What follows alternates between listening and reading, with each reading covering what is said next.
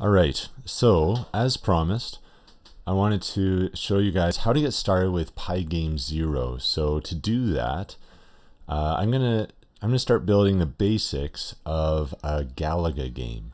So if uh, if you don't know Galaga, check it out. Take a look uh, at a YouTube video. It's an old classic arcade game, um, uh, and so right now what I've got you uh, I've I've just created a Galaga.py file, and um, in there I've I've put it inside of a directory called Galaga, and you should always have also inside that an images folder, a folder that's named images, and you need that because the Pygame Zero library is going to look for that directory. Okay, in there you want to put any images that you create for your game. All right, I use PNGs because uh, they're really they have uh, they're really good. They've got transparency, which is what we want. So that way, if they are overlapping, um, you don't see a box around them. And uh, and so here, let's start. To begin with, we need to import pgzrun. Okay, and then at the very bottom of our code, we're going to put pgzrun dot go. All right, so we're going to call the go method of pgzrun. We need that so that uh, to, as we're testing it out and running it, we don't need to run it from a command line. Um, we can just uh, build it right here and it will create a new window for us, um, the size that we need it, and, and specify and it will it'll just run. Okay. Now, the next thing we want to do is specify how big of our window do we want. So uh, we, I'm going to make a variable width equal to 400 and height equal to 600.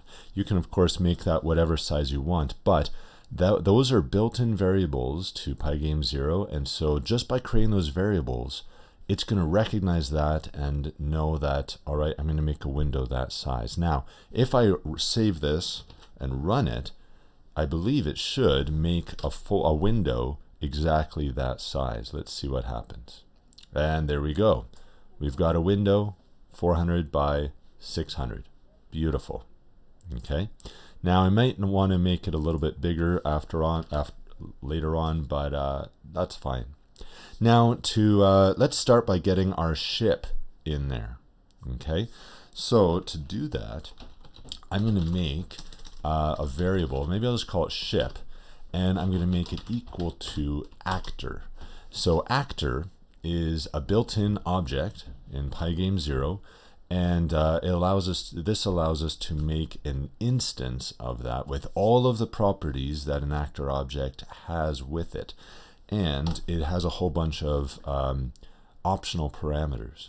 So the first one is our image file. So we can specify what image we want uh, this actor object to use.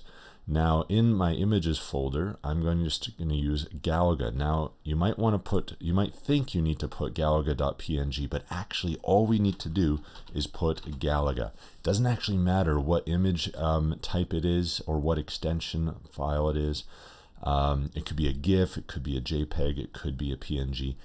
It, the library is already set to look for any image file that has that name before the extension and it'll recognize what kind of extension what it is on its own and load it up. So that's really nice. We can put it wherever we want. Um, so that's I'm actually going to stop there and just leave it with just Galaga. And now I'm going to set its XY position. So let's put it in, let's say, the bottom very center.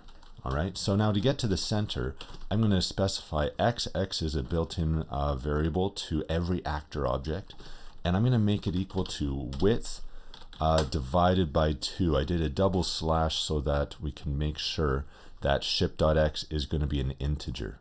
Okay.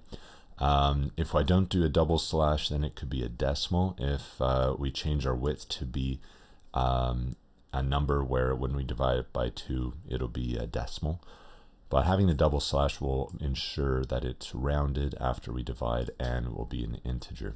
Now to get our y value, I want it to always be at the bottom, so uh, I'm going to make it equal to height, which would put it right at the bottom of the screen, minus, mm, let's say 60.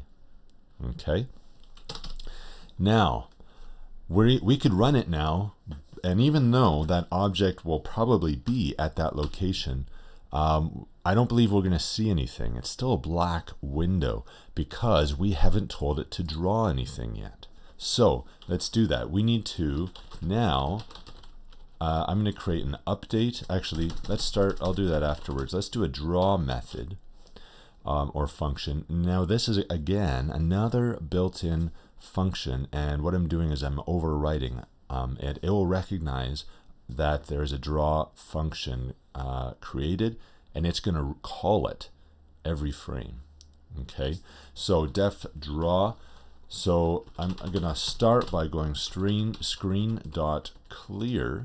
That's a def that's something you want to do every time, um, so that when we move objects over time, we don't see ghosts or duplicates of where it was before. It gets cleared and then it will draw all of the objects in their new locations wherever they are.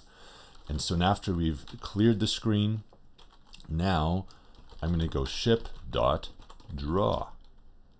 Okay? And let's just see what that does. And there we go. We've got Galaga down here. Now, you'll probably notice my Galaga image is quite big. So um, I might want to resize that, or I might want to just resize my screen for now uh, to compensate. So uh, why don't I go ahead and let's make this maybe 1200 by 1000. Let's see what that does for us. That's bigger. Oh, and there we go. Now we've uh, we're getting we're getting somewhere. Okay. Now you, this is pretty boring to start with. We don't have any movement. So uh, for the rest of this video, um, I'm going to get the ship moving left and right. And uh, and then I'll I'll stop there and um, we'll add in some more interactions in the next video.